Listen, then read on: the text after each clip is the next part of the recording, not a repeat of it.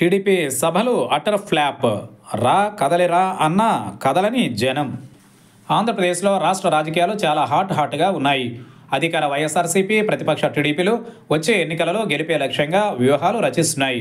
అయితే వైఎస్ఆర్సీపీ అధినేత రాష్ట్ర ముఖ్యమంత్రి వైఎస్ జగన్మోహన్ రెడ్డి ఎవరూ ఊహించిన విధంగా సంచలన నిర్ణయాలు తీసుకుంటూ నూట ఐదు స్థానాలు లక్ష్యంగా ముందుకెళ్తున్నారు.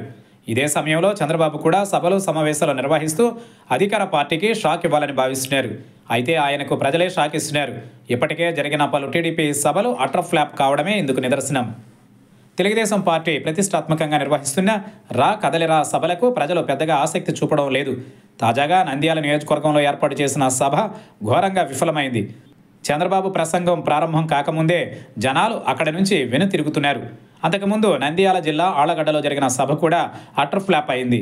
ఇవి మాత్రమే కాకుండా రాష్ట్రం మొత్తం ఇదే పరిస్థితి ఉన్నట్లు తెలుస్తోంది. సభల కోసం భారీ ఎత్తున ఖర్చు చేసినా జనం రాకపోవడంతో దిక్కుతోచని స్థితిలో టీడీపీ నాయకులు ఉన్నారని టాక్ వినిపిస్తోంది. సభపై జనాలకే ఆసక్తి లేకపోతే తాము మాత్రం ఏం చేయగలమని టీడీపీ నాయకులే చర్చించుకుంటున్నారని సమాచారం.